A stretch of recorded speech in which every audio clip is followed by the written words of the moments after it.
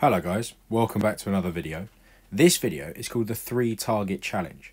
We want to see if you can hit 3 targets in as little time as possible. So, one must be done right foot, one must be done left foot, and the last one is up to you. We want to see how creative you can be on the last shot. So come up with something skillful, something fun. You might throw it, you might roll it, you might volley it. It's up to you, but we want to see how creative you can be on the final shot.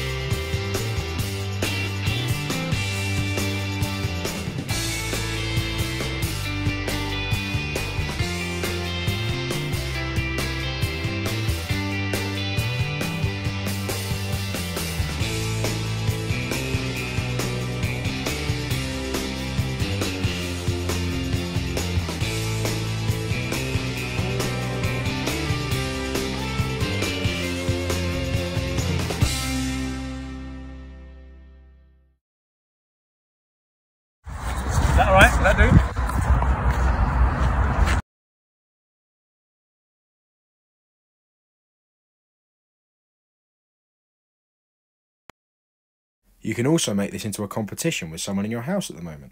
Me and my dad are taking it in turns and seeing who takes the fewest shots to knock all three of our targets over.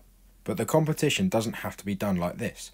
You could set up six and race to see who can knock all six over in the fewest shots. You could do it with just three.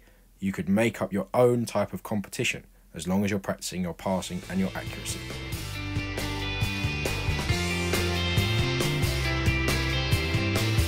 Hope you enjoyed the video, guys. I hope it's helpful. Send us any videos of you doing this game.